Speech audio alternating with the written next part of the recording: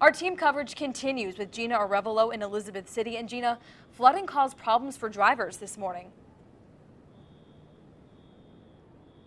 Yeah, it caused a lot of problems actually, so much that uh, schools here had to be canceled because so many roads are closed. Right now we're on Providence Road here um, at the entrance of the Oxford Heights neighborhood.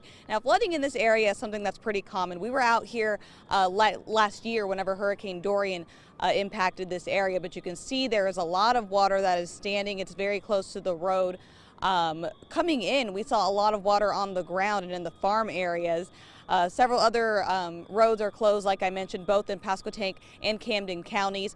Uh, we're going to check out Salem Church Road and Griffin Swamp Road. Hopefully later today, we're hearing that those are um, some pretty significant areas of flooding as well.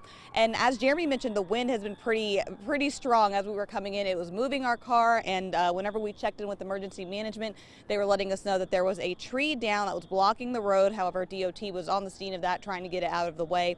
Uh, but again, we're going to be checking out the flooding here. It's, schools are closed for the time being, so we're going to try and chat with people and see how else they are being impacted by this severe weather. For now, we'll send it back to you in the studio, Madison. Thank you, Geena. And also in North Carolina, this is a look at NC-12 between the Basnight Bridge and Hatteras this morning. NCDOT says there's some standing water and windblown sand there on the road. NC-12 is open, but officials say you should drive carefully and watch out for crews cleaning up the road.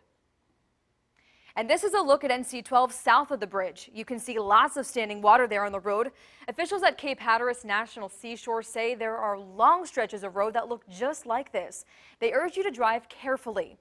And in Hertford County, the strong winds caused whitecaps on the water. Bill Agreste sent us this video from Holiday Island. Now, we've received so many of your pictures of storm damage, so our web team put together a slideshow of them. You can find that right now on wavy.com.